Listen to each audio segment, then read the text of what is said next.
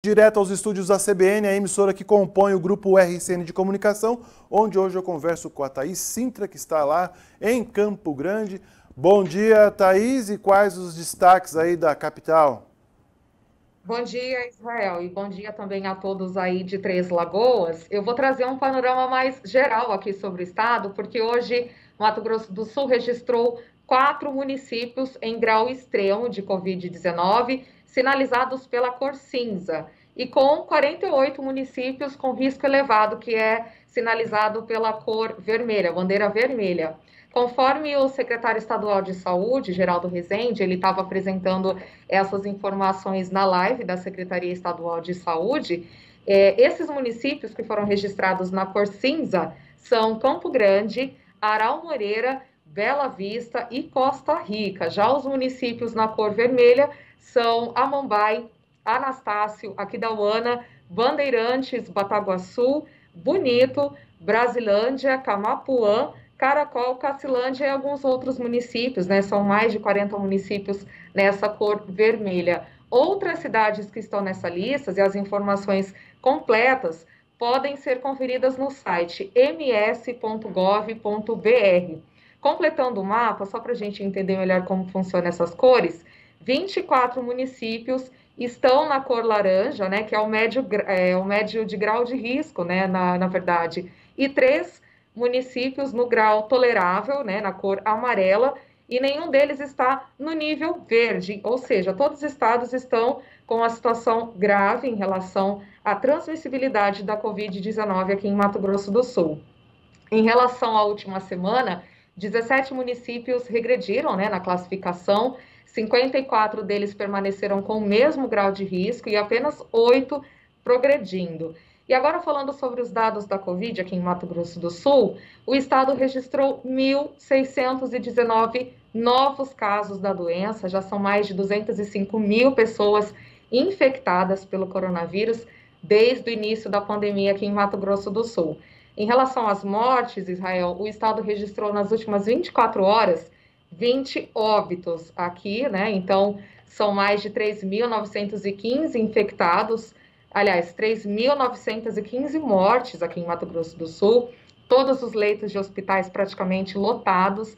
Inclusive, eu conversei hoje cedo, falando um pouquinho sobre o cenário de Ponta Porã, eu conversei com o secretário municipal de saúde, o doutor Patrick Derzi, e ele falou que lá em Ponta Porã a questão é a seguinte: as pessoas estão saindo da cidade, indo para Pedro Juan Cavaleiro, que faz divisa ali, né, com a cidade, porque lá no Paraguai não existem medidas de biossegurança, de biossegurança mais rígidas, como aqui no Brasil.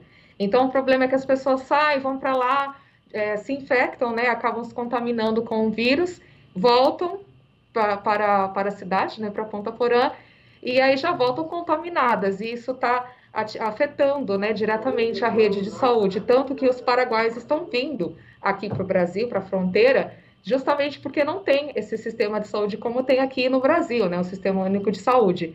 Então, esse é um alerta também para as pessoas que estiverem na fronteira para se cuidarem, para manterem o isolamento social. Nessa semana, o Estado teve uma queda, né, de, aliás, o, o, em relação ao isolamento social, melhorou um pouquinho esse cenário, né, algumas cidades as pessoas estão seguindo essas medidas de biossegurança, mas há esse problema. Ele falou, inclusive, que o hospital regional lá de Ponta Porã tá com, está com os leitos praticamente 100%, né, cheios. Então, não tem mais como as pessoas se internarem, a situação está bem crítica por lá. E a gente conversou também com o secretário de Segurança aqui de Campo Grande, o Valério Zambuja, Hoje também a gente falou com ele por telefone, ele disse que aqui em Campo Grande as medidas de segurança estão sendo seguidas, né? Apesar de que teve uma manifestação, uma movimentação, na verdade, de pessoas nas ruas, né? Mais de 200 pessoas tiveram que ser orientadas e mandadas, né, para casa, foram orientadas a cumprirem esse isolamento social,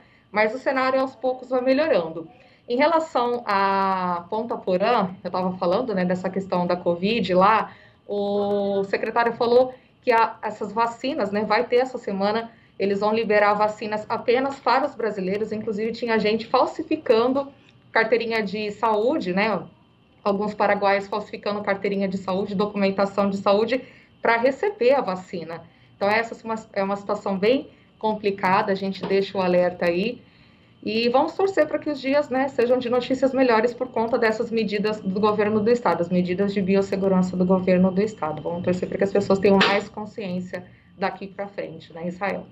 Ô Thaís, deixa eu aproveitar a sua participação e é uma pergunta bastante até pessoal na visão da, da cidadã Thaís. Como é que você está vendo aí esses três dias de feriados, né, que foi antecipado? Segunda, terça-feira e hoje na quarta. Eu tenho acompanhado, inclusive, minha família é de Campo Grande, pelas redes sociais, vi muita gente aproveitando aí, ó, e fugindo para o interior. Mas e aí na capital? Você acabou de falar que 200 pessoas foram barradas aí pela, pela guarda metropolitana, né? Mas Isso, no geral, na sua visão, o pessoal tem, tem aceitado, tem ficado em casa?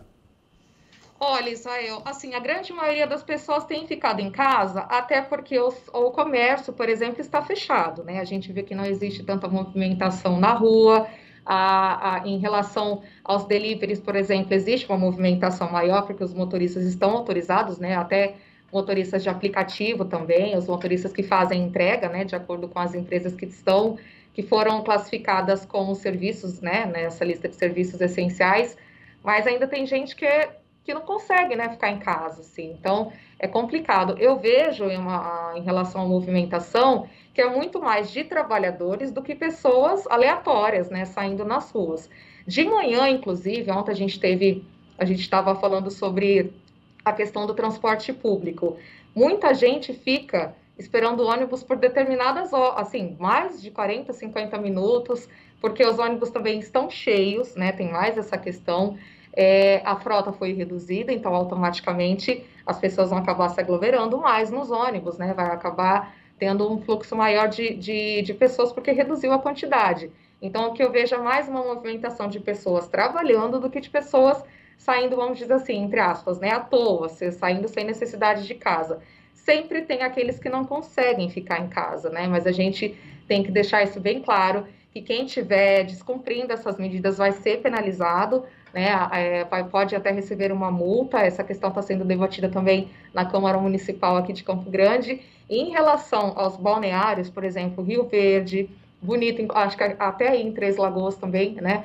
Deve, essa situação deve estar, tá assim, as pessoas devem estar tá indo mais para esses lugares, porque tem gente que não entende que é feriado, mas é um feriado seguindo as medidas, né, os protocolos. Então você não tem que sair de casa, não tem que viajar. A gente vê muitas pessoas viajando, né, até acredito que funcionários públicos, porque os, os órgãos, né, do estado, do município estão fechados. Mas a movimentação é mais de trabalhadores mesmo, né, no centro da capital, você vê que está praticamente tudo parado. É, conveniências, bares, está tudo fechado, né? Como se fosse realmente um mini lockdown. Sempre tem os teimosos, né, Israel? Infelizmente, mas a gente segue informando que está errado, que a gente precisa cumprir todas as medidas de isolamento. Tá certo, Thais. Eu posso te assegurar que o nosso balneário aqui não está sendo frequentado, até porque está é fechado. Né?